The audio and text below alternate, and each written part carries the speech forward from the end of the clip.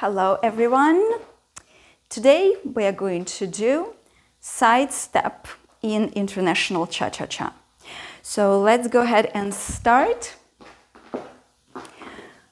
Let's stand on the left foot and we're going to go to the right first. So you will need to have right foot free and we will have step, step, side together, side, together, side, together, side, together. That's how the step looks.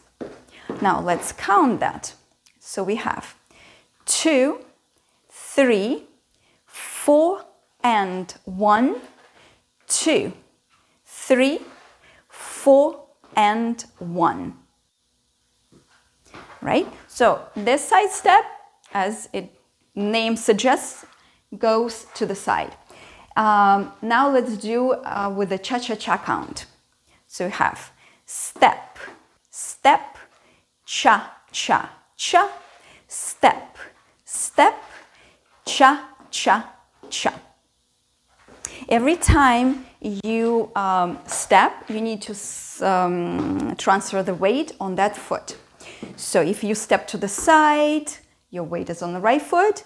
Now close your feet, transfer the weight on the left, and so on. Cha, cha, cha, two, three, cha, cha, cha.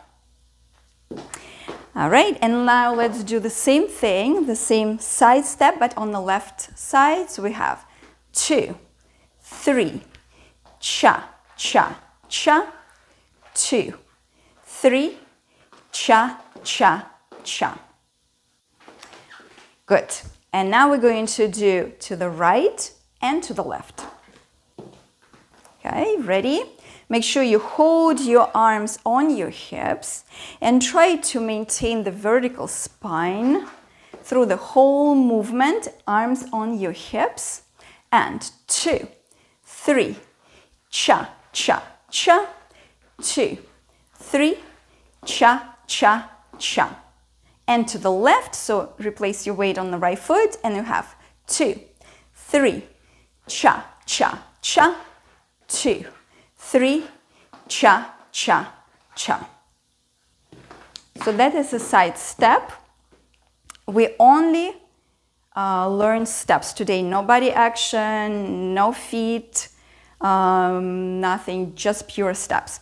So take it, practice it, and I will see you next time. Bye.